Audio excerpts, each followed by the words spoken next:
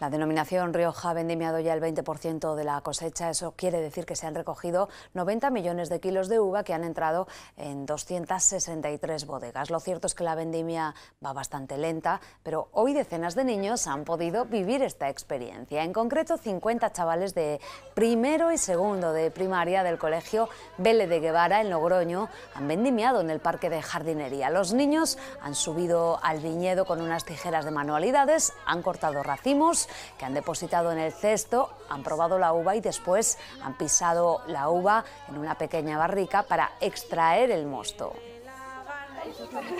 Pues muchas gracias eh, por vuestra amabilidad.